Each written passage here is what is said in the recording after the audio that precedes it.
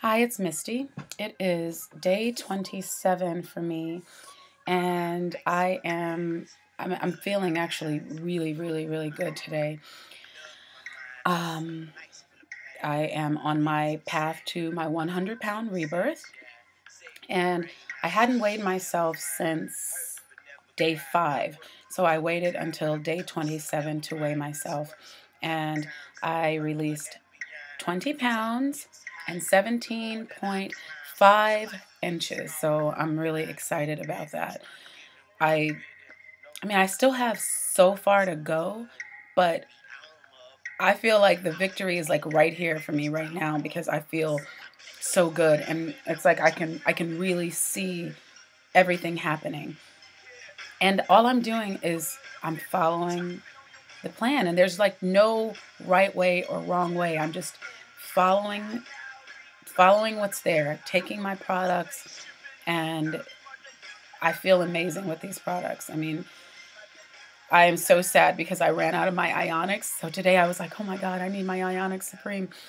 Um, it's like just a little blessing during the day when you can take it.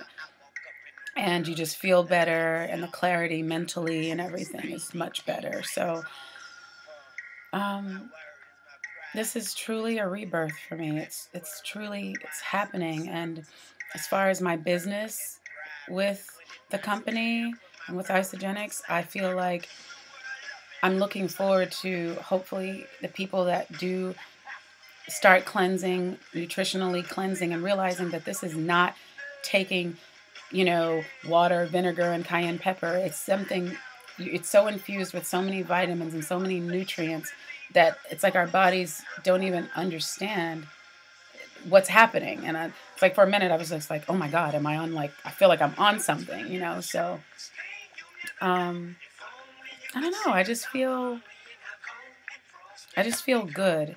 And I will be, I'll probably, and instead of like, I'll probably do some before and after pictures. Um, well, my befores are up, and that's before that's not even, that was me 27 days ago. I don't even know who that person is anymore. Thank God. Mentally, physically, or spiritually, I don't know who that person is anymore, and I'm grateful for that. But um, I'll probably take some more. I will take some more pictures um, by Friday, which will be my 30th day. And um, and then video wise, I will, you know, put on sort of the same clothes I had, which I have a lot of black um, clothing um, it's just I love that. Maybe it's a New York thing. I don't know. But um, and then I'll show a video as well, just to show um, the midsection definitely came down. The junk in the trunk is coming slowly but surely. So you know, um, yeah, that's it. I I just I mean this is three minutes. I said it was going to be quick, but it's not that quick. Um, I just got in. I'm going to settle down and respond to all the love and support that I've received. It's helping me so much on this journey. And right now, my focus is one day at a time. But of course, when I meditate and I do my visualization, I see myself on that stage at celebration.